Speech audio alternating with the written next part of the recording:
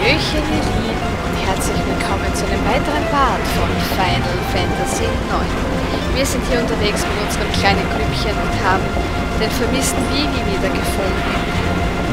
Und wo sind wir hier eigentlich ganz genau? Wir sind unterhalb von Dorf Dali. Keine Ahnung, was die Dorfbewohner hier aufführen und veranstalten.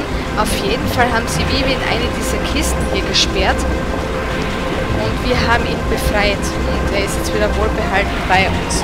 Und bevor wir hier weiter hatschen, richtig, wird er für uns gleich neu eingekleidet. Denn gewisse Sachen hat der Gute ja schon erlernt, wie hier Zauberstock, geht halt nichts anderes momentan. Aber Lederhut können wir auf den Federhut wechseln, dann kann er schon Haus Lukas lernen. Dann noch Armreif können wir auf den Lederarmreif wechseln, was sehr gut ist, und dann lernt er die Fähigkeit Eis. Und beim Seitenhemd, da geht dann eigentlich eh nichts. Perfekt. Haben wir eigentlich, ich hab's vergessen, hat die Lili schon ihre neuen Sachen bekommen? Ich glaube schon. Ja, ja, besser geht's ja nicht. Ja, ja, passt schon alles. Alles gut. Sehr fein. Und ich würde sagen, wir marschieren gleich mal hier weiter. Vivi hat da jetzt irgendwas entdeckt. Zuerst machen wir mal die Truhe hier auf. Als nächstes machen, schauen wir mal, was hier los ist. Was ist das für ein Rauch? Nein. Moment mal, das ist kein Rauch. Das ist Nebel. Was soll ich machen? Öffnen. Oh oh, das war keine gute Idee. Oder vielleicht doch? Schon. Zwar haben wir jetzt hier im Raum ständig Monster zu bekämpfen. Ja, leider. Wie gesagt, Level müssen wir sowieso. Wir wollen die Level 99 erreichen. Aber wir müssen auch hier rein, denn hier drinnen gibt es auch einen Schatz. Ja, also eine Truhe. Und unser guter Vivi setzt gleich mal seine neue Fähigkeit ein, nämlich Eis. Und Zidane klaut wieder das Sino-Spenst aus. Quatsch. Komm schon. Jawohl, Potion geklaut. Supi, supi, supi.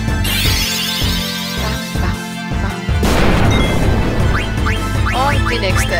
Zack, zack. Warum wollen wir eigentlich Level 99 erreichen? Und im Fall, dass du sie nicht bist, ich habe vor, vier bestimmte Monster zu da ist es durchaus von Vorteil, überhaupt auch für den Endgegner und so Level 99 zu haben. Sicher geht es auch mit, mit niedrigerem Level. Yeah, Level up. Wupp, wupp, wupp, wupp. Stufe aufgestiegen.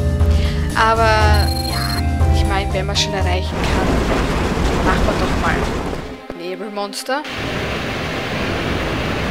Jupp, da ist es auch schon. Hier ist eine Truhe. Mit Phönixfeder. Da oben ist noch eine. Uah, nicht raufkommen. Ja, Potions, sicher, es sind jetzt keine wertvollen Schätze, aber ja, was man hat, hat man, ne? Und eine Phönixdaune. Lalalala. Uh. Ich weiß, wir müssen jetzt zwar öfters kämpfen, aber dafür haben wir jetzt drei tolle Schätze bekommen. Ja. Bam, bam. So, wir stibitzen gleich wieder wie die Weltmeister. Und unser guter Vivi setzt gleich wieder seine Eisattacke ein. Ah, ja! Da nicht stibitzt wieder, wo es geht. Vivi greift auch an. Oh, ich habe vergessen, Haut den Lukas zu aktivieren. Weil die Abilities, das muss ich auch gleich nachholen. Böse Zocke. Ich weiß. Pfui, pfui, schäm mich. Und geht schon. Ah, ja. Yeah. Perfekt. Und da schwebt das in den Himmel hinauf. Sehr gut.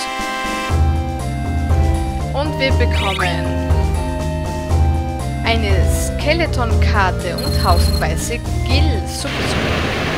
Äh, hoppla, falsche Taste. Immer ich. Übel. So, Babylein. Äh, anlegen. Hau den Lukas. Kann bei dir erteilen Zustandsveränderungen, falls die Waffe solche Eigenschaften trägt. So, noch irgendwas? Ich glaube nicht. Kann denn unsere gute Mini schon sowas? Ich glaube nicht. Nein mal, bei Zidane hat sich da eigentlich auch nichts geändert. Oh doch, schau mal, den Lukas. Auch bei ihm gilt dasselbe, ne? Genau, deine Zustandsveränderungen, falls die Waffe solche Eigenschaften trägt, können wir gleich beibringen. Und es wird nicht, kann was? Verhindert blind. Super, das werden wir auch gleich müssen. Was haben wir hier?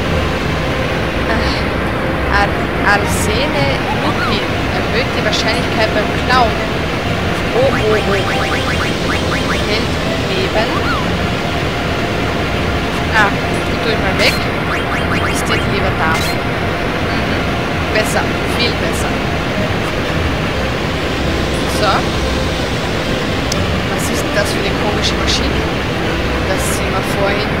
Diese Maschine jetzt. Was bitte geht hier eigentlich ab? Tja. Wird hier der Nebel absorbiert und an die Maschine von vorhin Und was sind dann wieder diese komischen Eier? Ja, wir haben nämlich im letzten Part schon so komische Dinge gesehen. Die schauen wir uns jetzt gleich an. Ich habe es nämlich gerade verkehrt rum gemacht. Und zwar die, die hier gerade rauskommen aus der Maschine. Das sind ja Eier. Mhm. Und diese seltsame Maschine legt sie. Diese Maschine scheint zwar nicht von Nebel angetrieben zu werden, aber zweifelsohne kommt der Nebel raus. Ja, da hinten haben wir gesehen, ne? da wird das reingepumpt quasi und dann, ja, ne? was haben wir da? Scheint leer zu sein. Okay. Uh. Und weiter geht's. Tadam. Attacke. Badam, äh, ich habe mir gedacht, ich mache mal so 30 Minuten Parts damit man halt viel weiterkommen so beim Spiel und so ist es doch los eigentlich das Spiel. Und ähm, ja, ich denke mir 5 Minuten mehr, das ist glaube ich machbar. Nein, es hat überhaupt nichts damit zu tun, dass ich, dass ich das Spiel gerne spiele und dass ich gerne vorwärts kommen möchte. Nein, nein, nein. Das sind böse Gerüchte. Mhm. Was? Wie bist du gestorben? Schämt euch. Alter. Bitte setze doch die Phönixfeder ein und rette und du durchstibitzen. Einzelne heilen soll ich nicht. Hoffentlich passiert dem Kleinen jetzt nichts. Doch ein Jahresstein stibitzen. Und auf wen geht's? Ui, Zidane. Passt, das ist mir noch lieb. So, ich setze gleich deine Eismagie ein. Ja, sicher wieder auf ihn. Arschgeil. Entschuldigung. Du magst gleich HI Position dazu. So. Potion. High Potion. Yeah. Sehr gut. Mehr als genug. Freilich hätte auch die Schwäche jetzt gereicht, aber es wurscht. So. Jetzt da weg mit diesen Decken.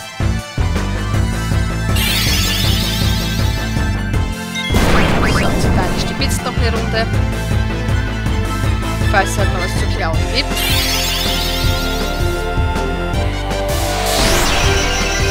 Und bam, das war's mit dir, du Mistgeist.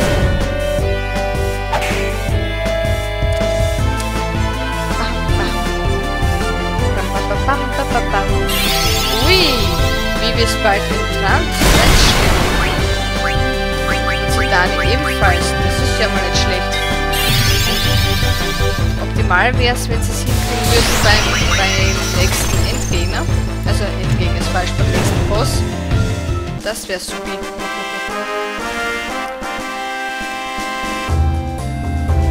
Fein gemacht. Ein Haufen Gil und sonst nichts.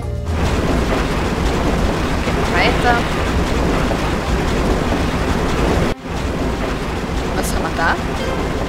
Saarkraut den Koko. Sieht so aus, als würde das Laufband von dem Kokobo angetrieben werden. Aber wenn sie schon bei der einen Maschine Nebel verwenden, warum dann hier so altbacken? Ja, das wird wahrscheinlich so sein. Um Energie zu sparen wahrscheinlich. Huch, da geht's schon wieder ab. Da geht's schon wieder ab. Oh, was seid ihr denn? Vogelviecher? Kiwilein. Eismagie auf ein Bussard. Ja, ich würde sagen, meine Gute, du heizt meine Runde. Ich würde sagen, du fangst mit Zitane mal an. Sehr hieben. Aha. Klauen. Da du auch? Du Ferkel.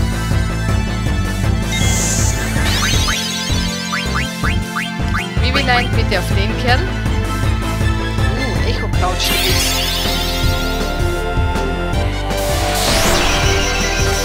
Oh. Heilen. Vivi gleich. Ah, der flüchtet sicher. Schande, hätte ich zuerst besiegen sollen.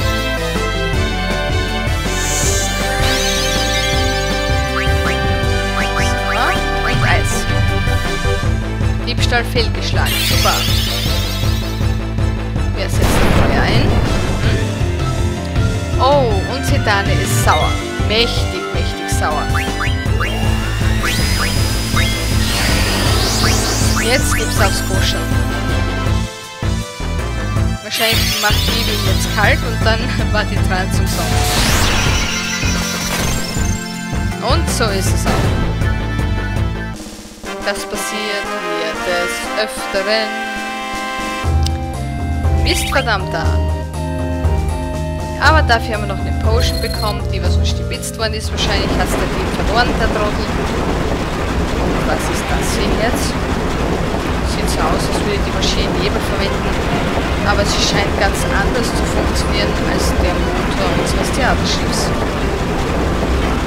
Ja. Sieht was?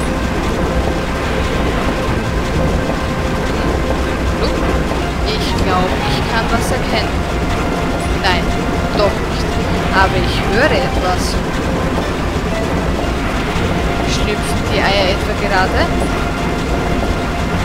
Du Heilige. Und nochmal kämpfen. Ach, das wird ja ganz schön spannend.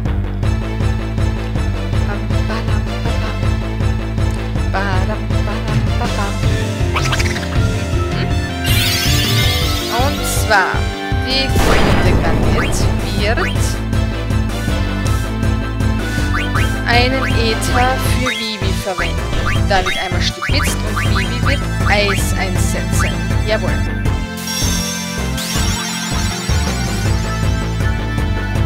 Sehr schön. Einmal Echo Cloud, super.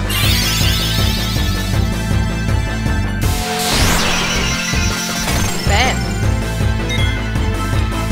Und weiter geht's.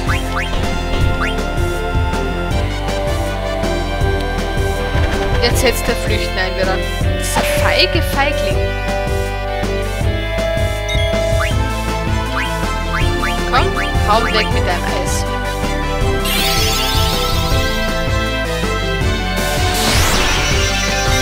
Quatsch. Vierte, du Muss mir merken, dass ich zuerst den linken besiegen muss, bevor ich den rechten platt mache. Wup, wup, wup. Zidane hat Stufe aufgestiegen und Pestientöter erlernt. Fesch, fesch, fesch. Und ein bisschen Gil gibt's noch rein. Super. Dann schauen wir mal, was da schlüpft. Oh, was, was ist das denn?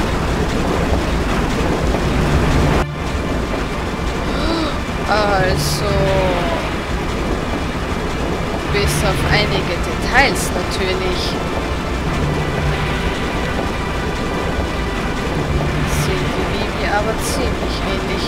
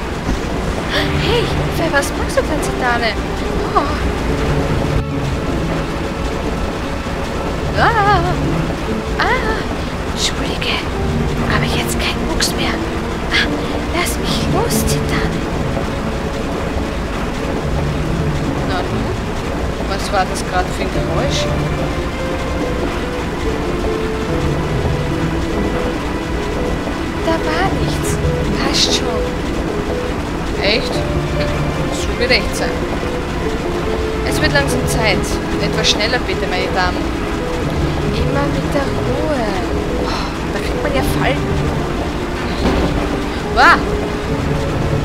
Zitane! Ja, da ist mal eingepackt, ne? Wo war? Vivi!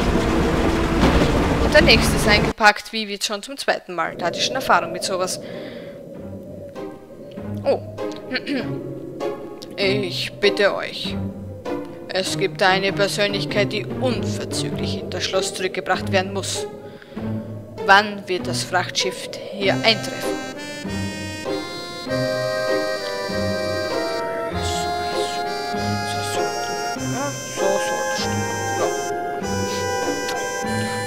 Bist wirklich lästig, junger Bursche. Boah. Ich bin beschäftigt. Ja. Opa. Grummel, grummel. Als Hauptmann der Blutertruppe darf ich wegen solch einer Kleinigkeit nicht einfach aufgeben. Ja, genau. Mehr ist da nicht? Welche Funktion wohl dieser seltsame Ort hat? Ja. Opa ist schon da unten. Der ist viel schneller als ich. Er muss auch keine schwere Rüstung tragen. Aber er geht in sein Häuschen. Wir können uns da nochmal umschauen, ob es hier vielleicht nochmal etwas zum Sammeln gibt. Aber ich meine nicht wirklich, dass es da was gibt. Und bevor ich mit dem alten Herren da sprechen tue, oder ist das jetzt Muss? Ah, ich glaube, das können wir schon machen.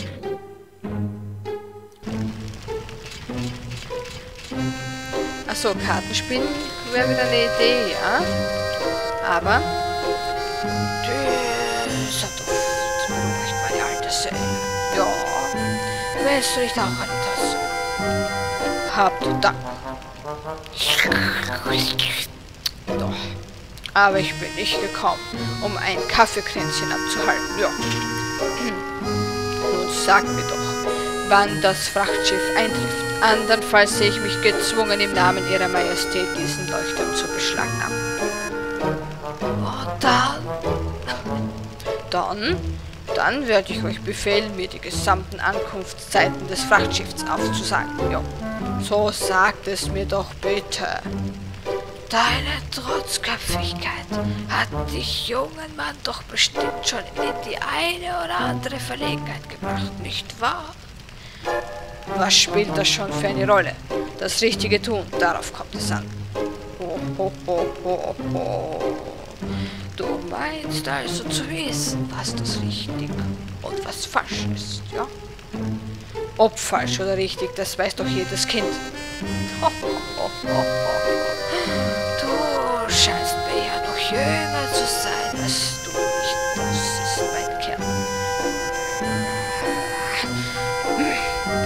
das Schiff hier eintreffen, Herrschaftszeiten nochmal? Es sollte schon längst gelandet sein. Ja, ja, ja. Wahrscheinlich werden sie die letzten Güter verladen. Ja, Wa, wa, wa, wa, wa, was? Ich muss mich beeilen. Ähm, hab Dank. Salut. Und tschüss.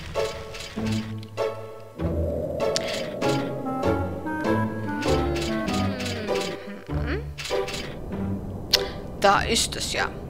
Das Frachtschiff. Verdammt, ich hab's doch vermasselt. Jetzt kann ich endlich die Prinzessin in das Schloss bringen. Es stellt sich allein die Frage, wie ich die Prinzessin zum Einsteigen bewege. Was sehen meine Augen da? Was kommt aus dem Boden hervor? Ich hab's doch verkehrt gemacht. Ich hätte zuerst müssen... Ja, habe ich einen Fehler gemacht. Wozu nur diese ganzen Marionetten? Seit wir von einem halben Jahr mit der Produktion begonnen haben, sind schon eine ganze Menge vom Fließband gegangen. Ist doch egal. Hauptsache wir, wir kommen so einfacher an die Kohle. Als bei der lästigen Feldarbeit. Ja. Und weniger Kreuzwehr hat man auch. War, war, was ist denn das? Da kommt irgendwas angestampft. Ach du liebe Güte, schau dir nur sein barbarisches Gesicht an. Ich weiß zwar nicht, was los ist, aber nix wie weg hier. Zack, zu die Hitten.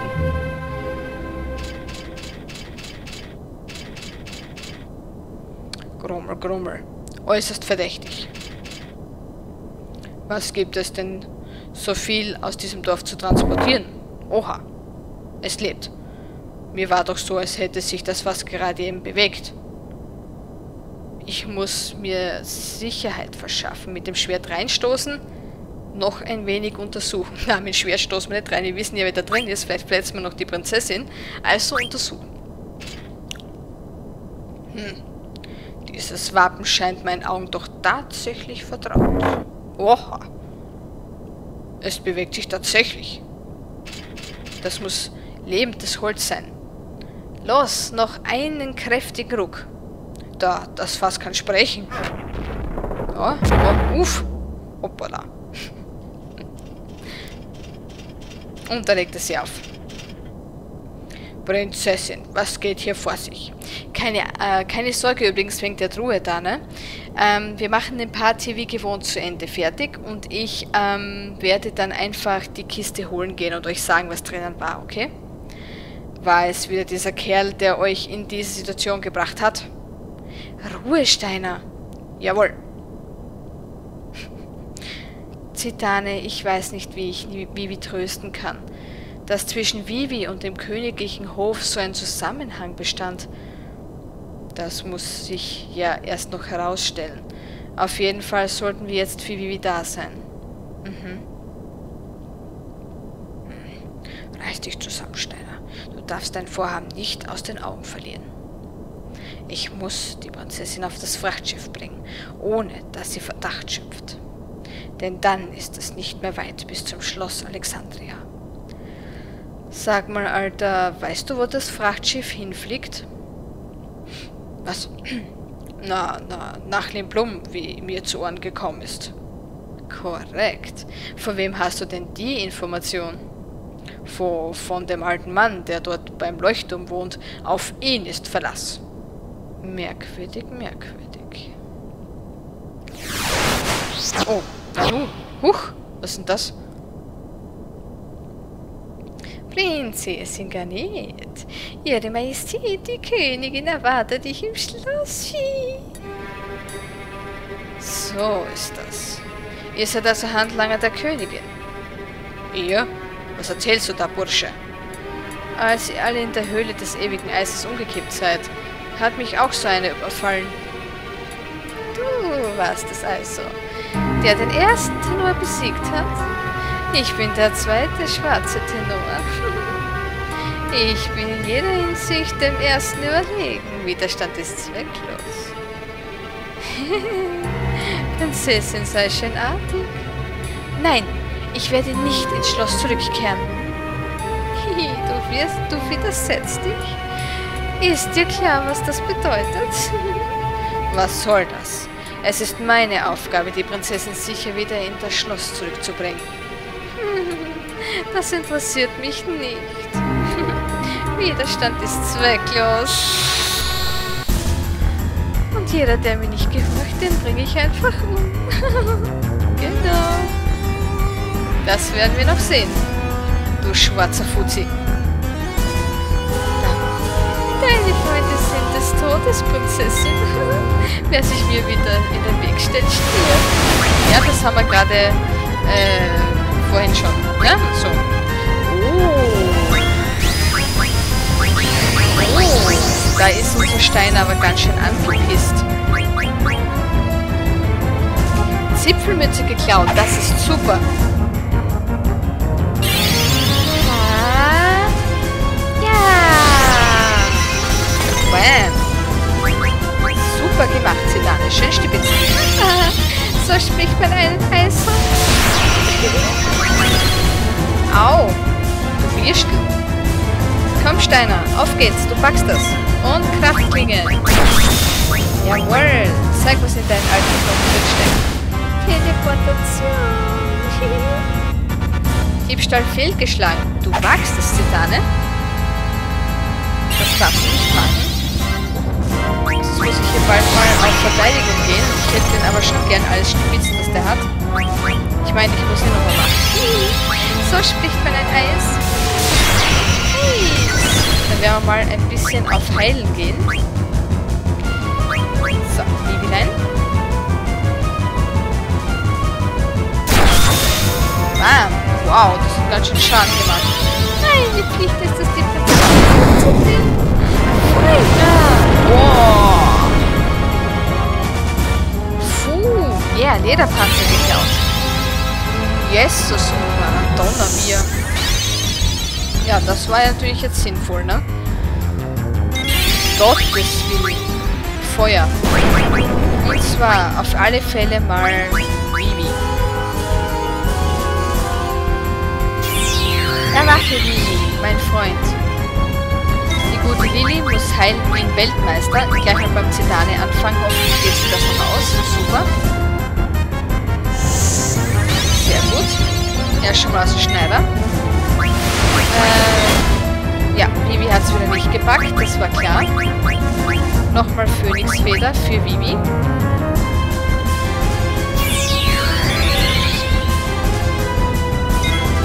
So, jetzt wird es noch schön spannend. Und Vivi kriegt das mal ab. Jawohl, jetzt ist Vivi auch schon aus dem Schneider. Es ist immer wichtig, dass man viele Items mit hat.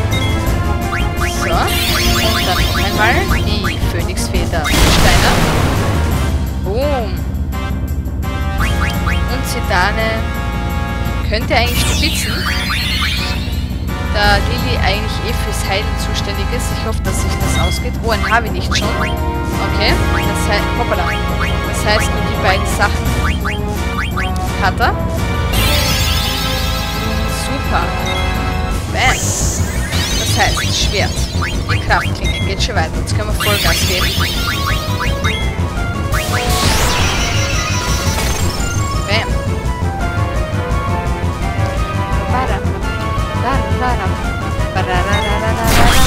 Und einmal noch heilen, weil sie es kann. So. Stein hat seine Trance verstanden. Trance. Jo. Und Bibi gibt Vollgas. Ha. Ja!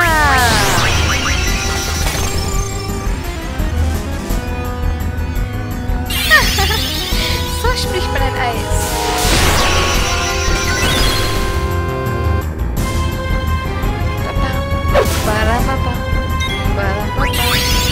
Und gleich nochmal Eis. Jetzt könnte auch ein Stein, der Stein eine Heilung gebrauchen.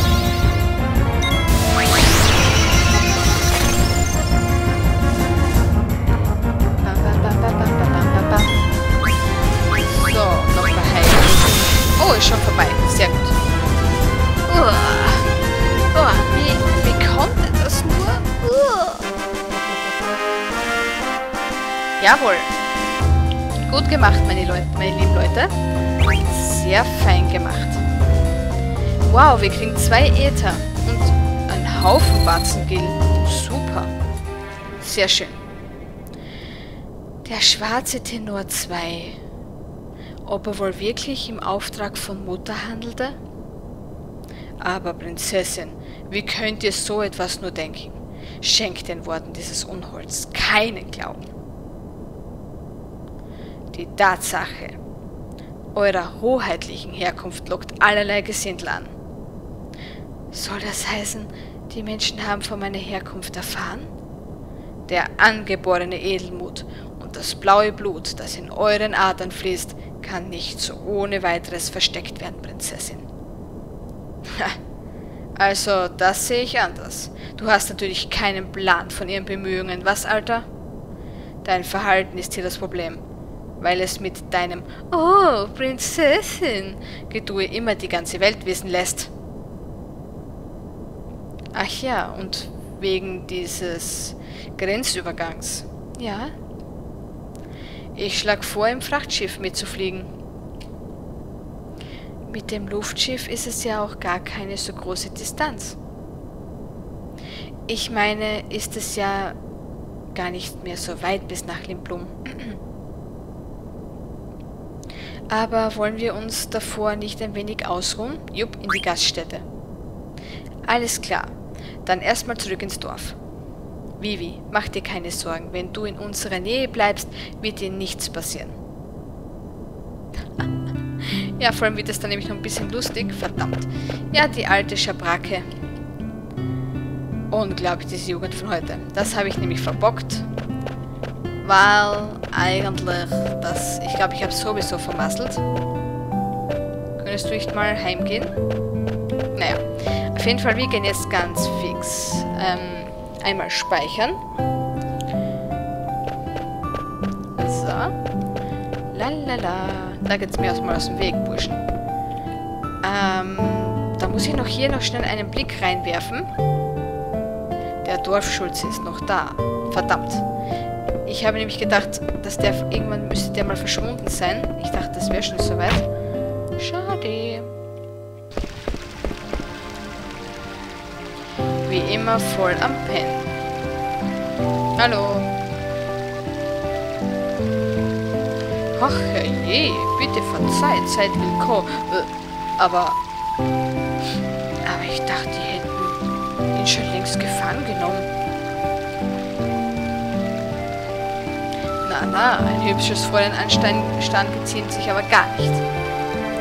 Nein, nein, nicht das junge Fräulein, sondern, ähm, wie dem auch sei. Nur rein in die gute Stube.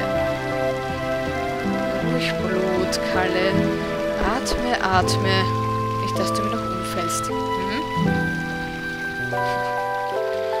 Jawohl, schnell retzen. Oder recken, besser gesagt, nicht retzen. Wir sind ja nicht gestorben, wir tun recken. So. Perfekt.